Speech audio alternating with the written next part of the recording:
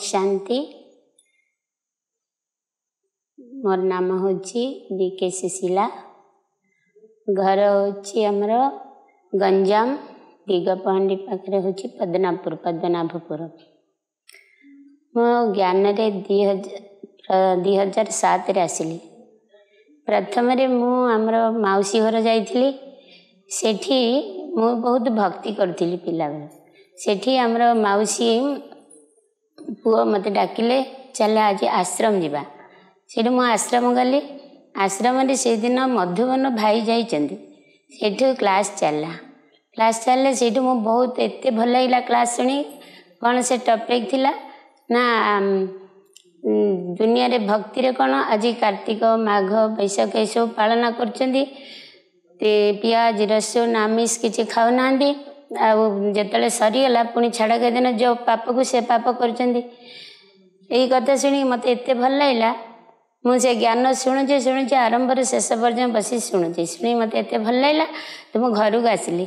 ଘରକୁ ଆସିଲା ପରେ ସେ ଯେଉଁ ଭାଇ ଯାଇଥିଲେ ମଧୁବନ ଭାଇ ସିଏ ମୋତେ ଯେଉଁ ଭଉଣୀ ଯାଇଥିଲେ ତାଙ୍କ ଦ୍ୱାରା ଡାକିଲେ। ସେ ଯେଉଁ ଆତ୍ମାଟା ବସିଥିଲା ସିଏ କିଏ ତାକୁ ଡାକି ଆଣନ୍ତୁ ମୁଁ ଗ୍ୟାରେଣ୍ଟି ଦେଇ କହୁଛି ସେ ଆତ୍ମା ଦିନେ ନା ଦିନେ ନିଶ୍ଚୟ ଜ୍ଞାନରେ ଆସିବ। ହେଲେ ତା ପରଦିନ ମୋତେ ସେଇ ଭାଉଜ ଲେଖା ହେବେ ସିଏ ଆସିକି ମୋତେ ଡାକିଲେ। ମୁଁ ତାପରେ ଗଲି ତାପରେ ଆଶ୍ରମ ଗଲା ପରେ ସମସ୍ତେ ମୋତେ କହିଲେ ତୁମକୁ ଭାଇ ବହୁତ ଖୋଜୁଥିଲେ ମଧୁବନ ଭାଇ ଆଉ ତୁମେ ପଳେଇଲ ଜାଣିଥିଲୁ ତୁମେ ଗାଁକୁ ପଳେଇଥିଲ। ଦେଖିଲା ପରେ ମୋତେ ସେ ବହି ତିନି ଚାରିଟା ବହି ଦେଲେ କହିଲେ ଆପଣଙ୍କ ଗାଁରେ ବ୍ରହ୍ମକୁମାରୀ ଆଶ୍ରମ ହେଇଛି? ମୁଁ କହିଲି ନାହିଁ ତାପରେ ସିଏ କହିଲେ ଆପଣଙ୍କ ଗାଁରେ ଆମେ ଖୋଲିବା। ଏମିତି କହି ସେ ତୁନି ପଳେଇ ଆସିଲୁ। ଏମିତି ବର୍ଷେ ଦୁଇ ବର୍ଷ ପଳେଇଛି ଆଶ୍ରମ ଖୋଲା ହେଇଛି ସେଦିନ ଆରମ୍ଭ ହେଇଥିବ ମୁଁ ଆଉ ଜାଣିନାହିଁ ଏମିତି ଗୋଟେ ଦିନ ମୁଁ ଭକ୍ତିରେ ମନ୍ଦିର ଯାଉଥିଲି ଆଷାଢ଼ ମାସ ଜଗନ୍ନାଥ ମନ୍ଦିର ଯାଉଥିଲି ସେଇ ରାସ୍ତାରେ ଲେଖା ହେଇଛି ପ୍ରଜାପିତା ବ୍ରହ୍ମକୁମାରୀ ଈଶ୍ୱର ବିଶ୍ୱବିଦ୍ୟାଳୟ ସେଇ ଦେଖିରେ ମୁଁ କହିଲି ଚାଲନ୍ତୁ ଏ ଈଶ୍ୱର ବିଶ୍ୱବିଦ୍ୟାଳୟ କ'ଣ ଜ୍ଞାନ ଯେ ଡେଲି ଡେଲି ଘଣ୍ଟା ଘଣ୍ଟା କ୍ଲାସ୍ ହେଉଛି ଚାଲ ଶୁଣିକି ଆସିବା। ବି ସାଙ୍ଗସାଥି ଯାଇଥିଲୁ। ହେଲେ ସେଇଠି ଯାଇ ଦେଖିଲା ବେଳକୁ ଦିଦି ଯୋଗରେ ବସିଛନ୍ତି ଏଠି ବନିତା ଦିଦି ବସିଥିଲେ ଯୋଗରେ ସିଏ ଆମକୁ ଦେଖିକି କହିଲେ ଆଉ ତୁମେମାନେ ଟିକିଏ ବସ ଆଉ ଭୋଗ ସାରିକି ଯିବ ସେଇଦିନ ଗୁରୁବାର ଥିଲା ଗୁରୁବାର ଦିନ ସେ ଯୋଗ ସରିଲା ପରେ ସେ କହିଲେ ଆଉ ଏଇଠି ଶାନ୍ତି ମିଳିବ କ'ଣ ନା ଆମେ ନିଜ ଭିତରେ ଶାନ୍ତି ଥାଇ ଆମେ ସାରା ଦୁନିଆରେ ଖୋଜୁଛୁ ଶାନ୍ତି ପାଇଁ ସେ ଏକ୍ଜାମ୍ପଲ୍ ମୃଗର ନାଭି ଭିତରେ କସ୍ତୁରୀ ଅଛି ମାତ୍ର ସେ ଚାରିଆଡ଼େ ଖୋଜୁଥିଲା। ସେମିତି ଆମ ନିଜ ଭିତରେ ଶାନ୍ତି ଥାଇକି ଆମେ ଚାରିଆଡ଼େ ଖୋଜୁଛେ ଏଠି ଆସିଲେ ଆମେ ଭଗବାନଙ୍କୁ ପାଇବା ଦ୍ୱାରା ଆମେ ଆମ ନିଜର ଯେଉଁ ଇମର୍ଜ ଅଛି ଶାନ୍ତିଟା ମର୍ଜ ହେଇକରି ଯେ ସେଇଟା ଇମର୍ଜ ହେଇଛି ଆମକୁ ସେଇ ସୁଖ ଶାନ୍ତି ଆମକୁ ମିଳିବ। ସେ କହିଲେ ତାପରେ ଆମକୁ ଭୋଗ ଦେଲେ। ଭୋଗ ଦେଲା ପରେ ସେ ଘରକୁ ପଳେଇଲେ। ଆମେ ସମସ୍ତେ ଭୋଗ ସାରିକି ଆସିଲୁ। ସେମାନେ ଦିଦି ଆମକୁ କହିଲେ ତୁମମାନେ ସମୟ ମିଳିଲେ ଆସ। ଆଉ ଏଠି କୋର୍ସ କରିକି ଜ୍ଞାନ ସାତ ଦିନ କୋର୍ସ କରିବ ଯିବ। ହେଲେ ଶାଶୁ ଘରେ ତ ମୁଁ ତ ବାରଣ୍ଡା ବାହାର ଘରୁ ବାହାରକୁ ବି ବାହାରୁ ନଥିଲି। ମୁଁ କେମିତି ଯିବି? କାହାକୁ ଡାକିଲି? କେହି ଆସିଲେନି ଏମିତି ରହିଲା। ଗୋଟେ ଦିନ କ'ଣ ହେଇଛି? ବାବା ସେ ଦିଦିଙ୍କୁ ସ୍ୱପ୍ନରେ କି ସାକ୍ଷାତରେ କ'ଣ କହିଲେ? ଦିଦି ଅଟୋମେଟିକ୍ ସେ ଆଶ୍ରମରୁ ଆମ ଘର ପଚାରି ପଚାରି ଆମ ଘରେ ଆସିକି ପହଞ୍ଚିଲେ। କହିଲେ ଆଉ ବାବା ମୋତେ ପଠେଇଛନ୍ତି? ଆପଣଙ୍କ ଆସୁଛନ୍ତି ଡେଲି କ୍ଲାସ୍ କରୁଛନ୍ତି ଜ୍ଞାନ ଶୁଣୁଛନ୍ତି ଜ୍ଞାନରେ ପକ୍କା ଅଛନ୍ତି ଆଉ ଆପଣ ମୋତେ ପଠେଇଛନ୍ତି ହେଲେ ମୁଁ କହିଲି ଆଉ ଭଲ କଥା ଆସିଲେ ମୋତେ ବି ଇଚ୍ଛା ଥିଲା ଶୁଣିବାକୁ। ଆପଣ ଆସିଲେ ଭଲ କଥା। ସିଏ ଆସିଲେ ଡେଲି ଆମ ଘରେ କ୍ଲାସ୍ କଲେ ସାତ ଦିନ କୋର୍ସ କଲେ ତାପରେ ଡେଲି ଡେଲି ମୁରଲି ଶୁଣିଲେ। ମୋତେ ଯେଉଁ ଦିନଠାରୁ ସେ ଆରମ୍ଭ କଲେ ଜ୍ଞାନ ମୋତେ ଏତେ ଭଲ ଲାଗିଲା ସେଇ ଦିନଠାରୁ ମୁଁ ପିଆଜ ରସୁଣ ଆମିଷ ପ୍ୟୁରିଟି ସବୁ ଚାଲିଲା ମୋର ସେଦିନ। ଭଗବାନଙ୍କୁ ବାବାଙ୍କୁ ବହୁତ ଥ୍ୟାଙ୍କସ୍ ଯେ ସେଦିନ ମୁଁ ଯେମିତି ଚାଲି ଆମର ଶାଶୁ ଏତେ ଏଜ୍ରେ ଥିଲେ ସିଏ କହିଲେ ଆମ ବୋହୁ କମେ ଖାଉନି ଯାଉନି। ମୁଁ ବି ଜ୍ଞାନ ଶୁଣି। ସିଏ ମୋତେ ବୁଝୁ ନ ବୁଝୁ ପଣ ଗୀତା। ସେମିତି ସେ ବୁଝିଲେ ନ ବୁଝିଲେ ସେ ଜ୍ଞାନ ଶୁଣୁଥିଲେ ମୋତେ ସହଯୋଗ କରୁଥିଲେ। ପୁଣି ଆମର ୟୁଗଲ ଆମେ ସମସ୍ତେ ତିନି ଜଣ ଥିଲୁ। ପିଲାମାନେ ଆମର ବାହାରେ ପାଠ ପଢ଼ୁଥିଲେ। ସବୁ ଚାକିରି କରୁଥିଲେ। ସେ ପାଠପଢ଼ା ଚାଲିଛି କାହାର ଚାକିରି ଚାଲିଛି। ସେଇ ସମୟରେ ଆମେ ତିନି ଜଣ ଘରେ ସେଇ ପ୍ରଥମ ଦିନରୁ ଆମେ ପିଆଜ ରସୁଣ ଛାଡ଼ିଦେଲୁ। ଆଉ ପୁରା ଜ୍ଞାନ ଡେଲି ମୁରଲି କ୍ଲାସ୍ ସବୁ ଚାଲିଲା। ଏମିତି ହଉ ଆମକୁ ଦିଦି କହିଲେ ମାତାଜୀ ଆଉ ଆପଣ ମଧୁବନ ଯିବେ। ମଧୁବନ ଯେ ମୁଁ କହିଲି ମୁଁ ତ ଏଇଠୁ ବାହାରକୁ ଟିକେ ଯାଇପାରୁନି। ଗୋଟେ ଚାନ୍ସ ପାଖ ଗାଁ ଗଲେ ଯିବା ମୋତେ ଚାନ୍ସ ମିଳୁନି। ଏଇଠି କେମିତି ଯିବି ବାବା କରିବେ। ମୁଁ ତ ଖୁସି ହେଲି ହଉ ଯିବା। ସେତେବେଳେ ଭଗବାନଙ୍କର ଆଶୀର୍ବାଦ ସେ କ'ଣ ହେଲା ସମସ୍ତେ ଏମିତି ଚାଲି ଯିବେ ବୋଲି ଆମର ପରିବାର ହେଲା ପିଲାମାନେ ସବୁ ବହୁତ ଖୁସି ହେଲେ ଯାହା ହଉ ଆମା ଯିବ ଆଉ ମଧୁବନ ବୁଲିକି ଆସିବ। ଏତିକି ସମୟରେ ମୁଁ ଫାଷ୍ଟ ଜୟଗୁରୁ ଦୀକ୍ଷା ନେଇଥିଲି। ସେଇ ସମୟରେ ମୁଁ ଯିବାର ଆମେ ଦୁଇ ଜଣ ୟୁଗଲ ମିଶିକି ଯିବାର ମଧୁବନ ଜାଣି ସେମାନେ ଘରକୁ ବାରମ୍ବାର ଆସିଲେ ତମେ ଜାନ ସେଠି ଯାଦୁ କରିଦେବେ ତମେ ସେଠି ରଖିଦେବେ ତମେ ଯିବାକୁ ହବନି କହିକିରି ସବୁ ସେଇଟା ବନ୍ଦ କରିଥିଲେ ଯିବାଟା। ଏହି ସମୟରେ ପୁଣି ବାବା ଦିଦିଙ୍କୁ ଯିବାର ମଧୁବନ ଯିବାର ଦୁଇ ଦିନ ପୂର୍ବରୁ ମଧ୍ୟ ଏମିତି କମ୍ପ୍ଲେନ୍ ଚାଲିଛି। ସେମିତି ଗୋଟେ ଦିନ ଏଥିରେ ଦିଦିଙ୍କୁ ଜାନୁଆରୀ ଅଠର ହେଇଛି ବାବା ସାକ୍ଷାତକାର କଲେ। ଏ ଆତ୍ମା ନିଶ୍ଚୟ ଯିବ। ସେ ତମେ କିଛି ଡରିବାର ନାହିଁ। ସତୁ ସତ ଏମିତି ପକାହେଲେ ଦିଦି ଆମେ ନିଶ୍ଚୟ କଲୁ ମଧୁବନ ଜ୍ଞାନରେ ଚାଲିବା ବର୍ଷକୁ ଆମେ ମଧୁବନ ଗଲୁ।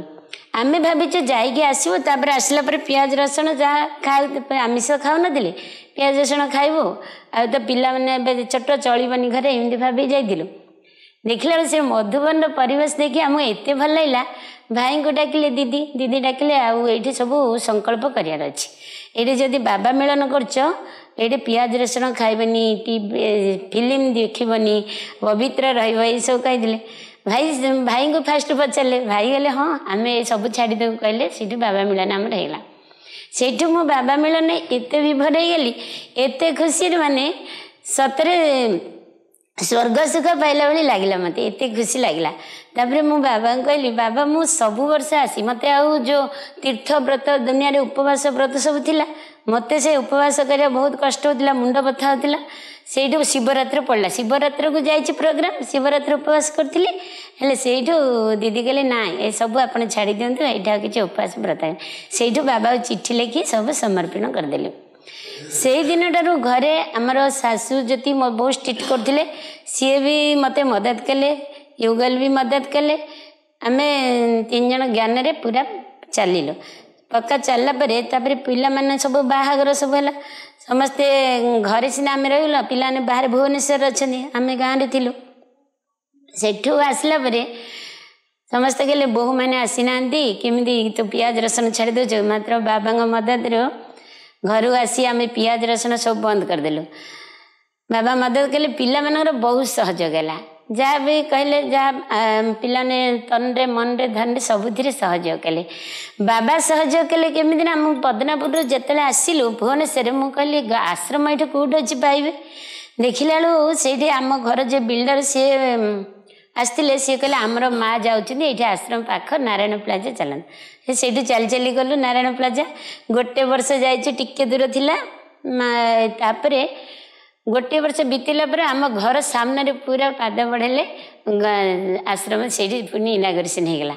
ସେଇଠୁ ମୋର ଡେଲି ଡେଲି ରେଗୁଲାର କ୍ଲାସ୍ ସବୁ ଚାଲିଲା। ଏମିତି ହେଇ ଘରେ ସବୁ ମଦତ କଲେ। ପୁଣି ଏମିତି ଭୁବନେଶ୍ୱର ମୁଁ ଯେତିକି ଦିନ ମୁଁ ସେଇ ଦିନଠାରୁ ପିଆଜ ରସୁଣ ଏତେ ପକ୍କା ହେଇଗଲି ମୁଁ ଆଉ କେତେ କିଏ କହିଲି ମଧ୍ୟ ଶୁଣିଥିଲି। ତାପରେ ମିଠାଟା ଟିକେ ଖାଉଥିଲି। ମିଠା ମଧ୍ୟ ତାପରେ ତ୍ୟାଗ କରିଦେଲି। ଏମିତି ତ୍ୟାଗ ଯେତେ କରି ମୋତେ ଆଗକୁ ସେତେ ଆହୁରି ଇମ୍ପ୍ରୁଭମେଣ୍ଟ ଲାଗୁଛି। ମାନେ ମୁଁ ଆହୁରି କିଛି ଶୁଦ୍ଧତାରେ ଆସି ବାବାଙ୍କର ଶ୍ରୀମଦ କେମିତି ପାଳନ କରି। ଏମିତି ହଉ ସେମିତି ମୋର ଗୋଟେ ବର୍ଷ ପରେ ଗୋଟେ ବର୍ଷ ମଧୁବନ ଯିବାକୁ ବାବା ମୋତେ ଚାନ୍ସ ଦେଇଦେଲେ। ସବୁ ବର୍ଷ ପିଲାମାନେ ବି ମଦତ କଲେ ବାବା ମୋତେ ମଦତ କଲେ। ମୁଁ ଯାଇକି ମଧୁବନ ଯାଇକି ଆସିଥିଲି। ମଧୁବନ ଯିବା ପରେ ଏମିତି ହେଲା ମଧୁବନରେ ସବୁବେଳେ ଅନୁଭବରେ ଭରପୁର ହେଇକି ଆସିଥିଲି। ତାପରେ ମୁଁ ଏତିକି ଭିତରେ ଆମର ବଡ଼ ପୁଅ କ'ଣ କଲା ଫରେନ୍ରେ ଥିଲା। ସିଏ ଯେତେବେଳେ ଆମେରିକା ଡାକିଲା କହିଲେ ଆମେରିକା ମୁଁ କହିଲି ଯେଉଁଠି ବାବା ଘରେ ନାହିଁ ମୁଁ ସେଇଠି ଯିବିନି। ବାବା ଘର ମୁରଲି ସବୁ ବନ୍ଦ ବାବାଙ୍କ କମାଲ ଥ୍ୟାଙ୍କସ୍ ବାବା ମଧୁବନ ଯିଏ ଆମେରିକା ଗଲା ପରେ ମଧ୍ୟ ସେଇଠି ବି ଆଶ୍ରମ ମିଳିଗଲା। ସେଇଠି ବି ସାଟର୍ଡେ ସଣ୍ଡେରେ ପିଲାମାନେ ଯାଇକିରି ମୋତେ ନେବେ ନେଇକି ପାଖରେ ଯାଇକି ସବୁବେଳେ ଯାଇକିରି ମୁରଲି କ୍ଲାସ୍ ସବୁ କରି ଯୋଗ ପୁଣି ସେଥି ଭିତରେ ଯୋଗ ଭଟି ବି ମିଳିଗଲା ଆମେରିକାରେ। ବହୁତ ସୁବିଧାରେ ସବୁ ହେଇଗଲା। ଏମିତି ହେଇକିରି ଅଳ୍ପରେ କହୁଛି ବହୁତ ଏ ଭିତରେ ଅନୁଭବ ହେଇଛି। ଏ ଭିତରେ ଆମର ଏମିତି ସାନ ପୁଅର ଏମିତି ବହୁତ ଦେହ ସିରିୟସ୍ ହେଇଗଲା। ସିଏ ଦିଲ୍ଲୀରେ ସଙ୍ଗେ ସଙ୍ଗେ ତାକୁ ସେ ଦିଲ୍ଲୀରେ ଟ୍ରେନିଂ ନେଉଥିଲା। ସେ ଦିଲ୍ଲୀରେ ଥିଲା ତାର ଦେହ ଖରାପ ଡେଙ୍ଗୁ ହେଇଗଲା। ଏତେ ଜୋର ସିରିୟସ୍ ହେଇଗଲାଣି ବାବାଙ୍କ ଦ୍ୱାରା ସେତେବେଳେ ଆମ ପିଲାମାନେ ସଙ୍ଗେ ସଙ୍ଗେ ଫ୍ଲାଇଟ୍ ଏମିତି ମିଳିଲା ଯେ ଫ୍ଲାଇଟ୍ ସଙ୍ଗେ ସଙ୍ଗେ ମିଳିଲା ସଙ୍ଗେ ସଙ୍ଗେ ଦୁଇ ହଜାର ଫ୍ଲାଇଟ୍କୁ ଆଠ ହଜାର ଦେଇକିରି ଏମିତି ଗଲେ। ଗଲା ପରେ ଆମ ପୁଅର ସେମିତି ସାଙ୍ଗମାନେ ସବୁ ଥିଲେ ସମସ୍ତେ ମଦତ କଲେ ତାର ମାନେ ଲାଷ୍ଟ ସେଦିନ ଶରୀର ଏମିତି ଲାଷ୍ଟ କଣ୍ଡିସନରେ ଯେମିତି ଦେହରୁ ବ୍ଲଡ଼ ବାହାରି ପଡ଼ିବ। ଏଇ କଣ୍ଡିସନରେ ସେମାନେ ବ୍ଲଡ଼ ଦେଲେ ସମସ୍ତେ ଡକ୍ଟରମାନେ ବି ଆଶ୍ଚର୍ଯ୍ୟ ହେଲେ ବାବା ତାକୁ ପୁରା ଭଲ କରି ଆଣିଲେ। ତାପରେ ମଧୁବନ ଯାଇଛି ମଧୁବନରେ ଭଲ ସବୁବେଳେ ମୋର ଖୁସି। ବାବା ଆମର ପିଲାମାନେ ମୋ ପ୍ରତି ଆମର ୟୁଗଲ ମାନେ ପରିବାର ବନ୍ଧୁବାନ୍ଧବ ମାନେ ସମସ୍ତେ ମୋ ଉପରେ ବହୁତ ଖୁସି। କାରଣ ମୁଁ କେବେ ଦୁଃଖ ବୋଲି ଜାଣିନଥିଲି। ଛୋଟ ପିଲାରୁ ବଡ଼ ପର୍ଯ୍ୟନ୍ତ ମୁଁ କେବେ ଦୁଃଖ ବୋଲି ଜାଣିନଥିଲି। ଏମିତି ମଧୁବନ ଚାଲି ମଧୁବନ ମୁଁ ଫରେନ୍ ଯାଇଛି ମୁଁ ବାବାଙ୍କୁ କହିଥିଲି ବାବା ଆପଣ ଯେତେ ଦିନ ପର୍ଯ୍ୟନ୍ତ ଆସିଥିବେ ମୋତେ ସେତେ ଦିନ ପର୍ଯ୍ୟନ୍ତ ମଧୁବନ ନଦିଏ ମୁଁ ଯେତେବେଳେ ଫରେନ୍ରେ ଥିଲି ମୁଁ ମାର୍ଚ୍ଚ ମାସରେ ଟିକଟ କାଟିଥିଲି ଆସିବା ପାଇଁ। ତାପରେ କ'ଣ ହେଲା ଦିଦି ମୋତେ ଫୋନ୍ କଲେ ମାତାଜୀ ଫେବୃଆରୀ ଆସନ୍ତୁ ତ ଆପଣ ପାଇଁ ନାଁ ପଠାହେଇଛି ମଧୁବନ। ଆପଣ ଫେବୃଆରୀରେ ଯିବାକୁ ପଡ଼ିବ। ସଙ୍ଗେ ସଙ୍ଗେ ଏମିତି କେମିତି ନା ସଙ୍ଗେ ସଙ୍ଗେ ମୋତେ ସାଙ୍ଗ ମିଳିଗଲା ସେ ଟିକଟ ମିଳିଗଲା ଟିକଟ ମିଳିକି ମୁଁ ଆସିଲି। ଆସିଲା ପରେ ବାବା ସେ ଦାଦିଙ୍କର ସେତେବେଳେ ତବିୟତ ବହୁତ ଖରାପ ଥିଲା। ବାବା ସେତେବେଳେ ପର୍ଯ୍ୟନ୍ତ ଦାଦିଙ୍କ ସହରରେ ଆସିଥିଲେ ଗୁଲଜାର ଦାଦିଙ୍କ ସହରରେ ସେତେବେଳେ ବହୁତ ଖରାପ ଥିଲା ଦେହ ବମ୍ବେରେ ଥିଲେ। ଆଉ ଦାଦି ଆସିଲେନି ବାବା ମିଳନ ହବନି ସେମିତି ବନ୍ଦ ହେଇଯାଇଥିଲା। ଏହି ସମୟରେ ଆନାଉନ୍ସ ହେଲା ସମସ୍ତେ ଦୁଇଟା ରାତିରୁ ଉଠି ଯୋଗ କରିବେ। କାହିଁ ଦାଦିଙ୍କର ଶରୀର ଭଲ ହେଲେ ବାବା ଆସିବେ। ଦାଦି ଆସିଲା ପରେ ବାବା ମିଳନ ହବ ଏହି ସମୟରେ ସମସ୍ତେ ଆମେ ଦୁଇଟା ରାତିରୁ ଯାଇ ଯୋଗ କଲୁ। ସନ୍ଧ୍ୟାରେ ଆନାଉନ୍ସ ହେଲା ଯେ ଦାଦି ଦେହ ଠିକ୍ ହେଇକି ଦାଦି ପଳେଇ ଆସିଲେ। ଦାଦି ଆସିଲା ପରେ ବାବା ମିଳନ ହେଲା। ଟିକଟ ବି ମୋର ଗୋଟିଏ ଦିନ ଥିଲା। ବାବା ମିଳନ ହେଲା ପରେ ଆମେ ପୁଣି ଆସିଲୁ। ସେଇଦିନ ଲାଷ୍ଟ ଦିନ ତାପରେ ଆଉ ଦାଦିଙ୍କର ଆଉ ବାବାଙ୍କ ଦାଦିଙ୍କ ଶେଷରେ ବାବା ଆଉ ଆସିଲେନି। ଏମିତି ବାବା ମିଳନ ବି ବନ୍ଦ ହେଲା। ଏମିତି ମୋର ସବୁବେଳେ ଯେଉଁ ପ୍ରୋବ୍ଲେମ୍ ଯାହା ବି ଏତିକି ଜ୍ୱର ଟିକେ ବି ହେଲେ ଆମେ କହିବାନି ଯେ ଆଉ ମୋ ଦ୍ୱାରା ହେଇଯିବ। ଏମିତି ବାବାଙ୍କୁ ୟାଦ କରିକି ଜ- ନ କହିଲା ପର୍ଯ୍ୟନ୍ତ ସେ କାମଟା କେବେ ହାସଲ ନଥିବ ବାବାଙ୍କର ମୋର ପ୍ରତି ଏତେ ପ୍ୟାର ହେଇଗଲା। ମୋତେ ଏତେ ଭଲ ଲାଗିଲା। ଯେତେବେଳେ ଯାହା ଯେଉଁ ପ୍ରୋବ୍ଲେମ୍ ହେଲେ ଯାହାର ବି ଯାହା ପ୍ରୋବ୍ଲେମ୍ ହେଲା ମୁଁ ସେତେବେଳେ ବାବାଙ୍କୁ ଜଣେଇଛି ତାର ପ୍ରୋବ୍ଲେମ୍ ସବୁ ସଲ୍ଭ ହେଇଯାଇଛି। ଆଉ ଖୁସିରେ ଚାଲିଛି ଆଉ ବାବାଙ୍କୁ ଥ୍ୟାଙ୍କସ୍ ପିଲାମାନଙ୍କୁ ବହୁତ ଥ୍ୟାଙ୍କସ୍ ଘରେ ସମସ୍ତେ ସହଯୋଗ ଦେଲେ ଥ୍ୟାଙ୍କସ୍ ବହୁତ ବହୁତ ଧନ୍ୟବାଦ ଓମ୍ ଶାନ୍ତି ବାବାଙ୍କୁ ଧନ୍ୟବାଦ।